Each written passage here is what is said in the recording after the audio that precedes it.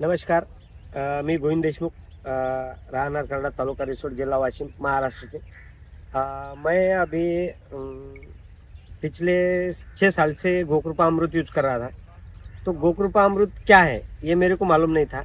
तो ये सबसे पहले मेरे को हमारे गुरुजी जो हमारे गुरु है, कृषि विज्ञान केंद्र वाशिम के निवृत्ति पाटिल सर, उन्होंने मुझे एक लीटर में दिया था और मैंने वो एक लीटर से 200 लीटर तैयार किया. और 200 लीटर तैयार करने के बाद मैंने वो गो गोकृपा अमृत अपने खेत में यूज़ किया। अपने खेत में पहले टाइम मैंने हल्दी में यूज़ किया। तो पहले हमारे इधर क्या था, जो केमिकल पे हम हलद लेते थे तो गोकृप केमिकल पे लेते थे तो तब हमें उसका एवरेज एक पंद्रह से बीस क्विंटल तक आता था। अभी जो छः साल से हम गोकृपा यूज़ कर रहे हैं तो तभी से हमारा एवरेज ही बढ़ गया और हमारी जो खर्चा था, वो भी खर्चा एक बहुत कम हो गया। तो उससे गोकृपा के रिज़ल्ट हमें बहुत ही अच्छे मिले। अभी तक मैंने किसानों को मुफ़्त में दे दिया मेरे यहाँ से।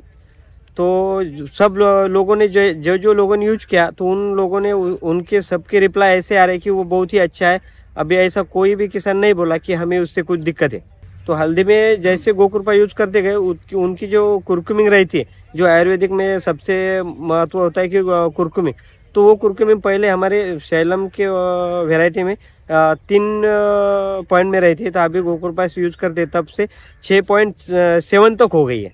मेरा नाम योगेश पटेल, मैं आसेगांव पेन से महाराष्ट्र से हूँ। ये हमारे गोविंद भाई इनके यहाँ से हमने कल्चर ला के हमारे खेत में प्रयोग किया था।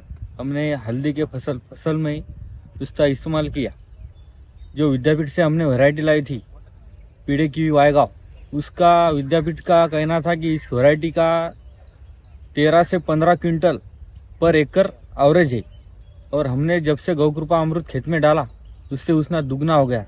हम अभी हर साल उस वैरायटी का एवरेज लगभग 25 से 27 क्विंटल छः महीने में उस हल्दी का उत्पादन लेते हैं। तो हमारा ये कहना है कि सब, सभी किसान भाइयों ने गौकृपा अमृत का इस्तेमाल खेती में करना चाहिए। उससे बैक्टीरिया बढ़ते हैं, ज़मीन अच्छी रहती है, ये हमारा अनुभव है। मेरा नाम गोपाल बोरकर है। मैं पी, केवी के कृषि विज्ञान केंद्र करडा। वहाँ के जो साइंटिस्ट है डॉक्टर निवृत्ति पटेल, उनके माध्यम से काम कर रहा हूँ। मैंने अभी एक, ये साल में एक ही पेड़ पे वो गोक्रोपा अमृतम का यूज़ करना चालू किया है, कि अपने को ट्रायल होना चाहिए इसीलिए। तो वो जो पेड़ है वो खेत में के सबसे साइज़ के बारे में बताना हुआ तो आ, उसकी साइज़ सबसे अच्छी है बाकी के तौर पे। और उस पर खर्च भी बहुत कम हो चुका है खर्च ही नहीं हुआ है। तो आग, अभी आगे उसका हम ज़रूर उपयोग करेंगे।